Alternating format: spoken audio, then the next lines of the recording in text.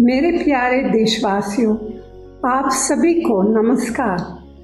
मुझे उम्मीद है कि इस कोरोना महामारी संकट के दौरान आप सब अपने अपने घरों में सुरक्षित होंगे। सबसे पहले मैं इस संकट के समय में भी शांति, धैर्य और संयम बनाए रखने के लिए सभी देशवासियों को दिल से धन्यवाद करती हूँ।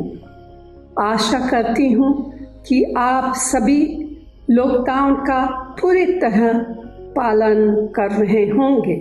आप सभी दूरी बनाए रखने का पूरी तरह पालन करें। अपने अपने घरों में रहें। समय समय पर अपने हाथ धोते रहें। बहुत ज़्यादा ज़रूरी होने पर ही घर के बाहर कदम रखे और वो भी मास्क, चुन्नी या गमछा लगाकर आप सभी इस लड़ाई में सहयोग करें। आज कोरोना के इस संकट से निपटने में आप सभी का इस लड़ाई में खड़े रहने से बड़ी देशभक्ति और क्या हो सकती है? हम इस मुश्किल समय में आपके परिवारजनों, पति, पत्नी, बच्चों, माता, पिता के त्याग और बलिदान को कभी नहीं भूल सकते। जोखिम होने के बावजूद भी आपके सहयोग और समर्थन से ही आप इस लड़ाई को लड़ पा रहे हैं। इनको धन्यवाद देने के लिए मेरे पास शब्द नहीं है।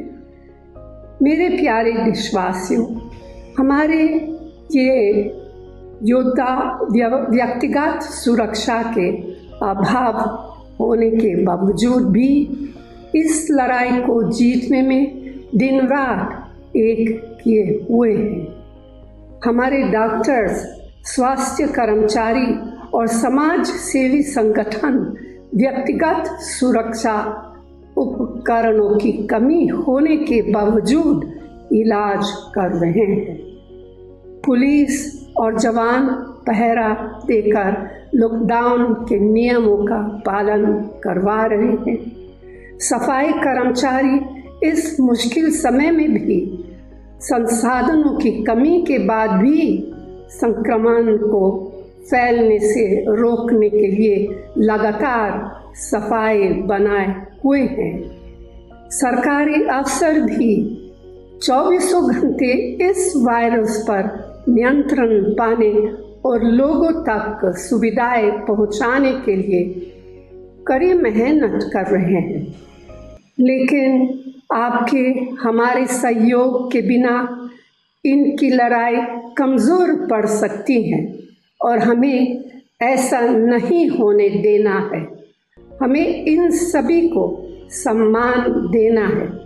कई जगहों पर डॉक्टर्स के साथ गलत व्यवहार की खबरें आ रही हैं। ये काफ़ी गलत है, क्योंकि हमारी सभ्यता और संस्कृति ऐसी नहीं है। हमें इन सब का सहयोग और समर्थन करना चाहिए। इस संकट में आप ही में से कई लोग अपने स्तर पर व्यक्तिगत प्रयास कर रहे हैं।